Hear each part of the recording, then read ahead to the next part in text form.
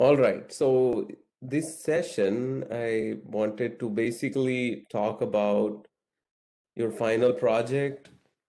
A lot of uh, questions come up, and uh, it is good to start it early in the semester. We are in the fourth week now, so to start thinking about it is a good idea because the apps themselves, the topic of apps is uh, nothing new to all of you. You are basically you are all uh, used to using your smartphones and using the apps.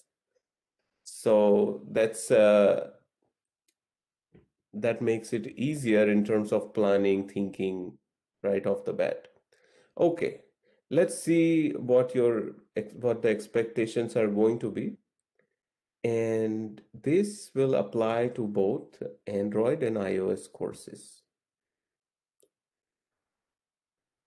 So as you already know, we talked about it in the syllabus that the weightage for this project is 50%. So half of your semester's assessment is this project. Uh, really important to do a good job. You have a choice. You can work individually or you can work in pairs. And if you are working in pairs, you must inform me by week seven that you are going to be working with so and so and also know that the bar will be set higher. If you are working with somebody more will be expected of you because you know 50% times 2 so you can expect that. The main you know the summary if i could put it in one uh, sentence what this project is it is to design and develop a well defined app. And let's see what that well defined app and how we are going to sort of impose a definition so that we get a level playing field. Everybody is expected to be doing similar you know making similar efforts. So the question then is what would make an acceptable project? So these are the requirements that uh, we want the apps whatever app that you work on for your project it must meet these requirements at the minimum. You can go beyond this. So there should be at least three views. Now that we are uh, doing the tic-tac-toe app you, you, know you will see what multiple views are. In android we call them activities. In ios they're called views view controllers. So you need at least three of them. And four if you're working in pairs. So just to give you an example when you open your email app you see a list of emails that's one view. If you tap on an email, it opens the email for you to read. That's a another view. So that's two. If you want to compose an email, that's the third view. So like this, we need at least three and four if working in pairs.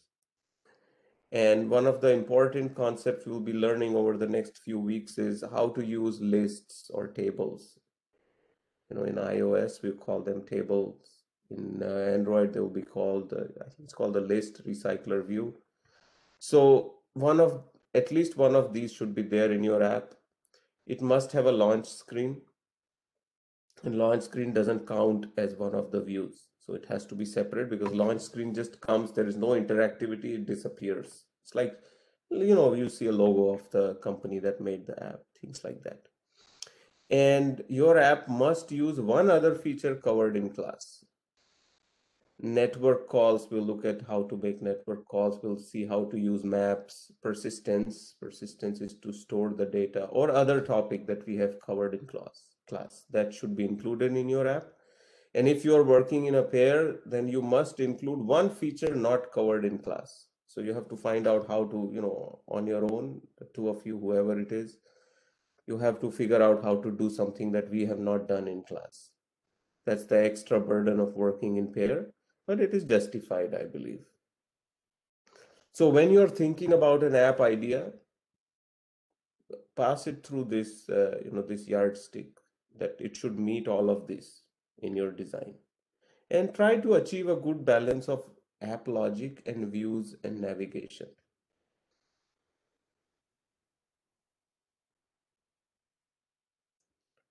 So what are you going to submit and when? Okay, by the way, uh, if you have questions, feel free to unmute and ask me because, you know, if you are on that slide, it is easier to answer it right then and there. I don't mind that. So, proposal on in week eight, oops, I would like you to submit a project proposal, maximum one page. In one page, I want you to write what is the app you're going to develop, you know, like a bird's eye view what it is going to do, who the users are going to be, what is the purpose, things like that would go in a project proposal. And then the following week, I would like you to submit a two page functional specification. So we'll talk more about it. At that time, I will give you more information, what exactly you need to include in the functional specification. But just, you know, in very briefly, it is uh, something like these are the views that we'll have. This is the interactivity on each view. This is how the user's you know workflow will happen on the app. That is functional specification how the functionality is uh, it comes to life. And then the subsequent week another document you'll submit the technical specification again maximum two pages and technical specification is basically you're talking about how now the internals of your app are going to, to work.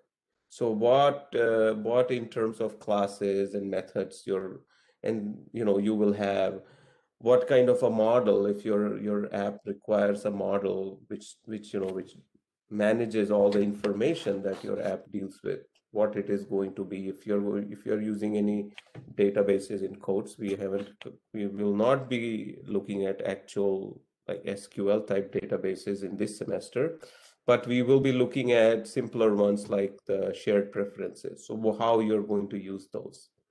So that is your technical specification. And in the last week of the semester that's dedicated to uh, uh your project presentations in that week before the class, you will submit your Xcode or Android Studio project, and I will ask for certain other things, screenshots, etc. All of that will be due in week 30. And you'll make a presentation. You will present your app to the entire class. So we'll try and do that session live and see if we can manage it. Uh, and this, uh, all of this, uh, these are the distribution of marks. So basically, uh, it's not one chunk of 50 in the last at the end.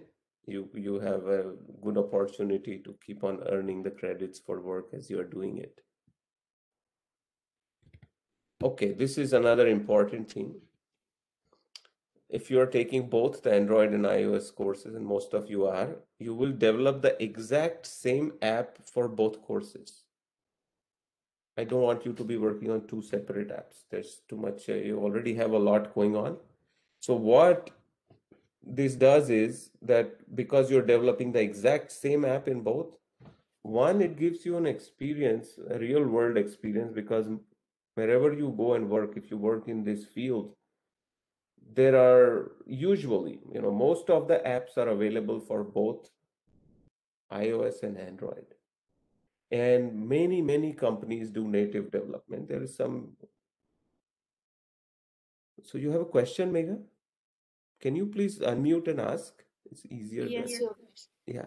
Uh, so I, I wanted to ask regarding the proposal the slide that uh, we have to you will share a template with us uh, like how the structure should be and everything so i will talk about it what is expected of you and i can look at a sample and i'm uh, maybe I can share a sample or I'll at least give you enough information so you know what is expected of you. So like by next week or like uh, before no, that, this right? is due in week eight.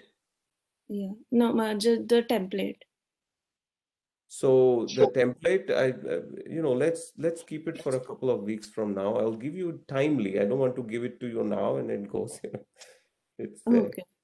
Okay. No it, problem. it, we are in week four right now. So this, let's say, before your week eight is right after your reading week, Yeah. right? So just before the reading week, I will tell you what is expected. Okay. Okay. Okay. Thank you. Yeah, that would be good. Right. So what happens is when you develop the same app into, you get to see how in the real world this happens and the understand the equivalences between iOS and Android. So it's a very good experience. That's why we'll do it this way. And additionally, the benefit of doing it this way is that the submission of the first three items is common to both courses. So basically, look at this the project proposal, the functional specification, and the technical specification. All of this happens before you're doing any coding. You're designing your app, you're designing the views, etc. So this this work is common to the two courses. So you will submit the same document in both places. And what it does also is that you have more time to spend on the actual implementation and development. It gives it, you know, it frees you up. That's why I want you to do the same app in both. There is no choice there. It's not an option. That's how it is.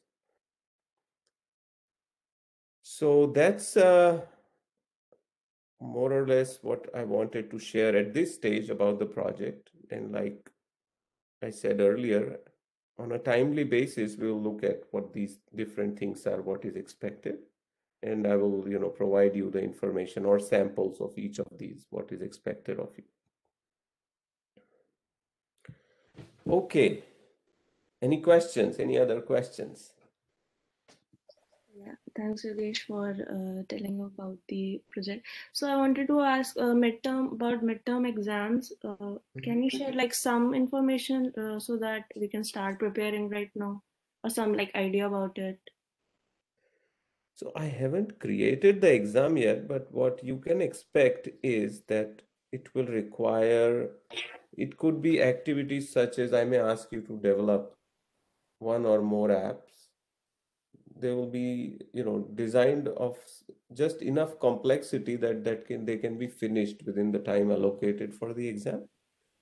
Or i may give you exercises such as i may give you an xcode or or an android project depending upon the course and that project may have bugs and problems and i may ask you to fix it or i may ask you to enhance what i've given you this is the kind of scenario uh, we are looking at. It's going to be hands-on. I'm Okay. not going to ask you to describe to me the, you know, the theory or ask you question, descriptive questions about how to do something. You will Mhm. basically be doing it, whatever it is. Okay, so it will be like live a live exam and uh, two three hours. It's going to be like that, right? Yes, so we have a three-hour allocation for our time slot, right? Now, what Okay. I may do is I may design an exam that does not require three hours and open it up for the. So once you start, you will have, let's say, whatever time allocated. Uh, it could be less than three hours. It could be three hours. In that time, you have to finish your exam. And because everybody's in a different time zone, uh, I don't want it to be any, you know, a longer window also. So that's why in my announcement, I have asked I have mentioned that the exam we will schedule it between the hours of 11 and 2, the time in Barrie. Okay. So uh, that would be ideal that you know everybody does it in that period because it's a time also allocated to this course. So you you won't have any other classes in that time, Yeah. Right? Okay, Yogesh. Thank you. Uh, All that's all. right. Yeah. Yeah, thank you for joining, and I Thanks. will see you all. Okay, bye. Bye bye. Take care. Bye. You too. Have a great